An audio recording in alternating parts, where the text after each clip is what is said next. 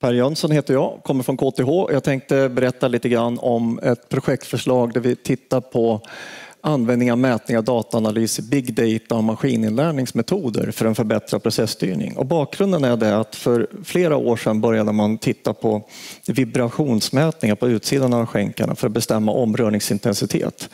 Vi vet idag att det har skett en eh, väldigt kraftig utveckling på modeller, hur man tittar på om, omrörning med gasomrörning, induktionsomrörning, kombinerad omrörning, men också vad som händer inne i en stålsmälta till exempel när man tappar ut en skänk, att man får vårtexbildning.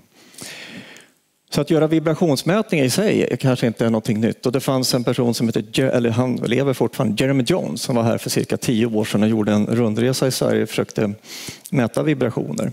Men vad som hände då när man försökte sätta accelerometrar på sidan av skänkar, att man hade väldigt förenklade ekvationer och tolka de här datan. Så för ungefär ett år sedan började vi fundera på, skulle vi inte kunna jobba med andra typer av människor lite tvärvetenskapligt? Och några av er känner till Kalle Grip, en professor i Luleå.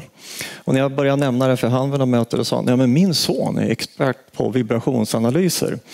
Så sedan ett år tillbaka då så har vi diskuterat tillsammans med han hur vi skulle kunna genomföra ett sånt här projekt. För första steget är att få till bra mätningar, vibrationsmätningar. Sen hur ska vi kunna analysera de data och, och, få mindre spridning. För idag ser man att man får väldigt stor spridning i sina data när man håller på och jobbar. Eh, och det här är ett projekt ska jag säga, som startades då med 23040. Vi gjorde en förstudie förra våren med två stycken tjejer, Sofie och Karin, som reste runt i fem stålverk och gick igenom vad de tyckte var intressant när det gäller sådana mätningar.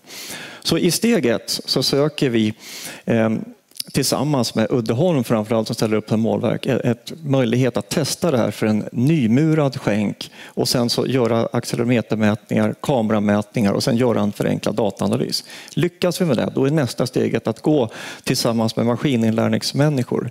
Fredrik Sandén, Luleå och Mikael Weidemo i New York är experter på maskininlärning som bland annat vi har jobbat tillsammans med Outokumpu på Ljusboksung.